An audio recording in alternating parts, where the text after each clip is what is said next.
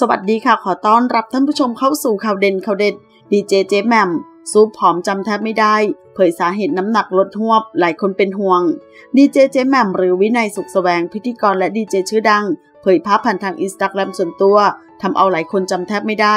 เพราะผอมเพียวจนหน้าเปลี่ยนไปเลยทำเอาคนในวงการบันเทิงและแฟนคลับแห่คอมเมนต์บางก็เป็นห่วงว่าผอมไปหรือเปล่า บางก็สอบถามเรื่องความผอม บางก็บอกว่าผอมสวยเลย บางก็บอกว่าผอมแล้วแม่นเลย อาทิหญิงแย้ ก็เข้ามาคอมเมนต์ด้วยว่าเพรียวมากเจ้าค่ะ ขณะที่มีคนบอกว่าผอมลงค่ะดีเจเจแหม่มก็ตอบว่าผอมลงเยอะมากค่ะ โดยเจ้าตัวบอกว่าหายไป 10 กิโลจากการเลือกบริโภคล้วนๆ ขณะที่มีหลายคนสอบถามด้วยว่านานไหมคะพี่ถึงลดลง 10 กิโล